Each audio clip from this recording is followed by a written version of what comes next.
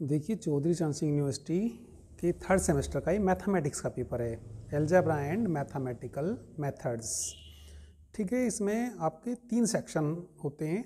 जो section A है, इसमें वेरी शॉर्ट क्वेश्चन आते हैं, जिसमें आपके फाइव क्वेश्चन आते हैं। ठीक है attempt all five questions each question carries three marks very short answer is required तो ये फाइव क्वेश्चन है, और जो एक क्वेश्चन है, वो कितने मार्क्स का है?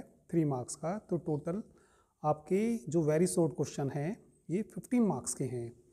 ठीक है तो फाइव क्वेश्चन देखिए आपकी बार क्या क्या आई है दो हज़ार तेईस में। चौधरी चरण सिंह यूनिवर्सिटी मेरठ में देखिए। पहला क्वेश्चन देखिए सिंपल क्वेश्चन दिया है prove that in group G A B inverse बराबर B inverse A inverse for all A B belongs to G ठीक है तो ग्रुप में से ही क्वेश्चन दे रखा। ठीक है, छोटी सी एक थोरम थी ये, आसान सी थोरम थी। तो इसके बाद चलिए क्वेश्चन नंबर टू देखिए, क्या दे रखा? इफ़ एफ़ कोई परमोडिशन दे रखी जी परमोडिशन दे रखी then find F G and G F की वैल्यू पूछी। तो इनकी प्रोडक्ट करनी प्रोडक्ट ऑफ़ परमोडिशन आपने पढ़ा हुआ है, ठीक है एफ़ जी और जी एफ़ निकालना। तो ये आसान सा क्वेश्चन था फाइंड एफ़ जी और जी एफ़ निकालना। ठीक है, इसके बाद थर्ड क्वेश्चन देखना क्या दिया so that limit X Y tends to zero zero three X minus two Y upon two X minus three Y does not exist तो ये प्रूव करना, ये लिमिट एग्जिस्ट नहीं करती है। ठीक है? तो उसके बाद क्वेश्चन नंबर फोर देखिए।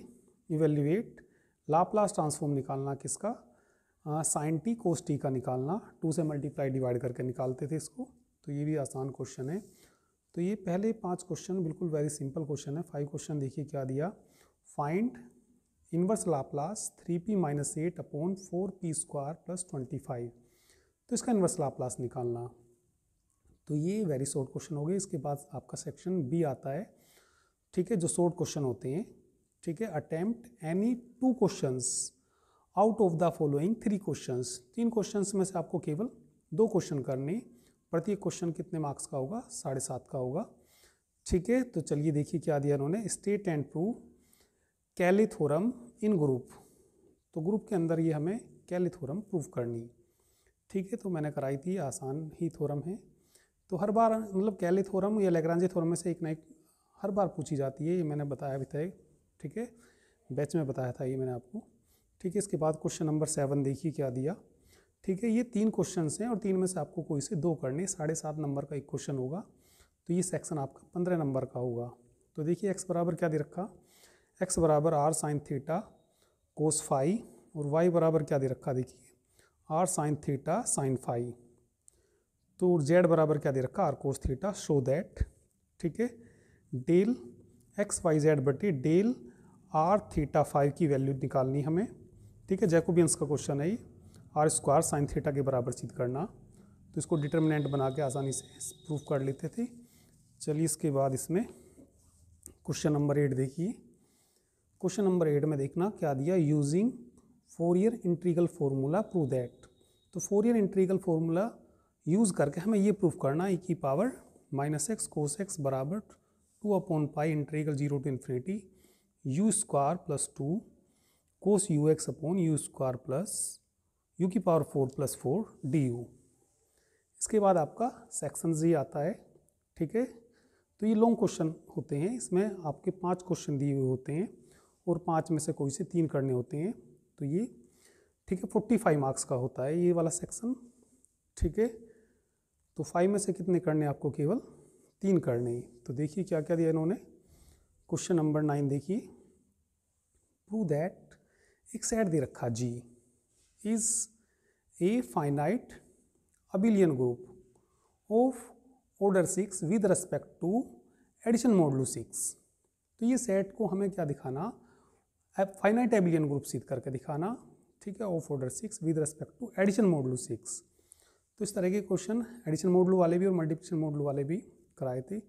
तो इसके दो पार्ट दे रखे नो के इन्होंने, ठीक है? तो ये ए पार्ट हो गया तो दूसरा ये बी पार्ट हो जाएगा। यानी कि साढ़े सात साढ़े सात के दे रखे साढ़े सात और साढ़े सात, पंद्रह। तो ये पंद्रह नंबर का एक क्वेश्चन है इसमें लॉन्ग बी पार्ट में क्या दे रखा इन्होंने? H one and H two are two subgroups of a group G then prove that H1 intersection H2 is subgroup of G. तो एच वन और एच टू क्या है? दो सब ग्रुप हैं। उनके इंटरसेक्शन को भी क्या सिद्ध करके दिखाना हमें? सब ग्रुप ला के दिखाना। ठीक है? तो आसान क्वेश्चन थी, आसान थोरम थी चलिए क्वेश्चन नंबर टेन देखिए क्या दिया। A subgroup H of a group G is normal if and only if X H X inverse बराबर किसके ला के दिखाना? एच के for all X belongs to G तो एक सब ग्रुप है एच किसका सब ग्रुप है ये? जी का। इज़ इसको नॉर्मल दिखाना। ठीक है? इफ़ एंड ओनली यदि और केवल यदि। ठीक है? एक बार तो हमें एच को क्या लेके चलना? नॉर्मल लेके चलना, ये ला के दिखाना। और एक बार ये लेके चलना, उसको क्या दिखाना हमें? नॉर्मल ला के दिखाना। ठीक है? तो दस का ये एक पार्ट हो गया। इसके बाद नेक्स्ट देखिए। कुछ डेफिनेशन पूछिए। ठीक है? Define the following coset of a subgroup की डेफिनेशन लिखनी ठीक है इसके बाद रिंग की डेफिनेशन पूछी इंट्रीगल डोमेन और ये फ़ील्ड की डेफिनेशन पूछी इसके बी पार्ट में ठीक है? तो ये आ, ये जो दसवा क्वेश्चन है ये भी कितने मार्क्स का है? फिफ्टीन मार्क्स का। तो ये आपके पाँच क्वेश्चन है पाँच में से आपको कितने करने?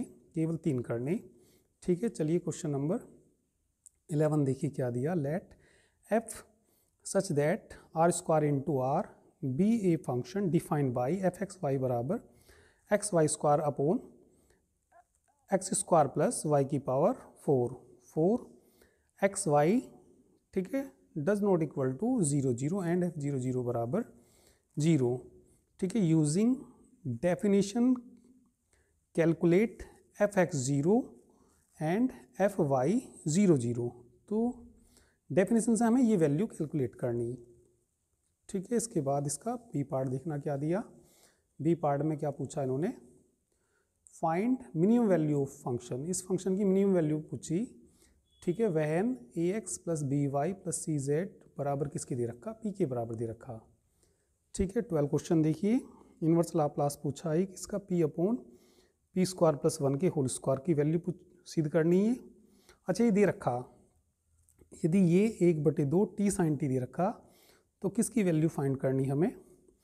ठीक है inverse Laplace thirty two P upon sixteen P square plus one के होल स्क्वायर की वैल्यू फाइंड करनी ठीक है तो आसान से ही क्वेश्चन है ये भी। आ, इसके बाद बी पार्ट देखिए।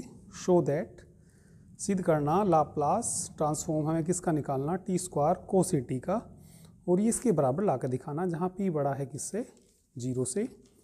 और लास्ट क्वेश्चन देखिए क्या दिया इन्होंने? Find find the finite Fourier sine and cosine transform of the function इस फ़ंक्शन के हमें फाइनाइट फोरियर साइन ट्रांसफॉर्म निकालना और कोसाइन ट्रांसफॉर्म निकालना। किसका निकालना? एफ़ एक्स बराबर क्या दे रखा? टू एक्स दे रखा। जहाँ एक्स की वैल्यू किसके बीच दे रखी? ज़ीरो और फोर के बीच दे रखी। तो ये सब क्वेश्चन सारा क्वेश्चन पेपर आसानी क्वेश्चन पेपर था ही ठीक है? तो ये चौधरी चरण सिंह यूनिवर्सिटी यूनिवर्सिटी में, ठीक है? मैथ्स का पेपर था ये एल्जेब्रा एंड मैथमेटिकल मेथड का। ठीक है? Thank you very much